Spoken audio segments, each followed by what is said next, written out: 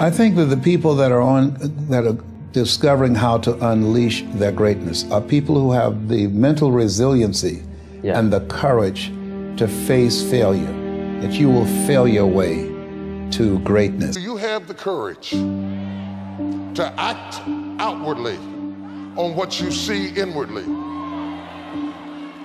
Or will you die a dreamer?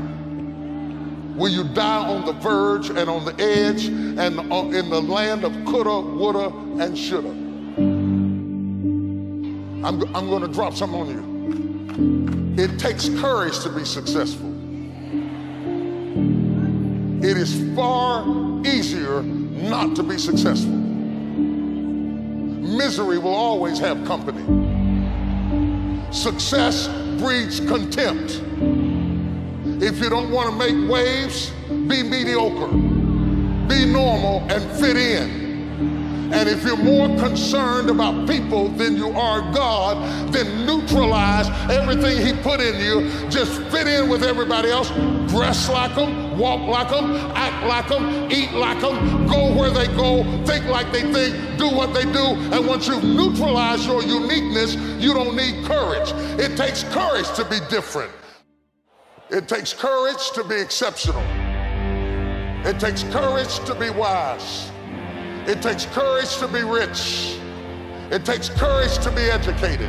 It takes courage to be knowledgeable. Because the moment you do, but you, you don't talk like oh, you don't got, forgot where you came from. Look at you, talk to, it takes courage. And I'm just wondering, in this weak, watered down, mediocre society that we live in today, in this reality TV world we live in today, I'm wondering if there's anybody left that's got the courage to say, after all I've been through, and all my ancestors have been through, and all my parents have been through, I didn't come through all of that just to fit in with normalcy. I have the courage to go after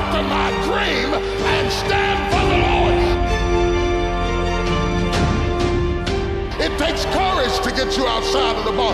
It takes courage to be successful. It takes courage to win. People don't talk about people that don't win. If you win, they're going to talk about you.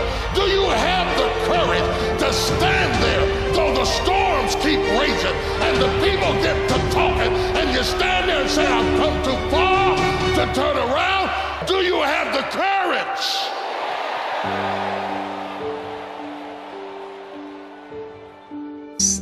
That most people allow their fear of failure to outweigh their desire to succeed. When you're willing to fail again and again and again, when you make up your mind to become unstoppable, when you make up your mind to become a no matter what person, then that will then give birth to a part of yourself that you don't know right now.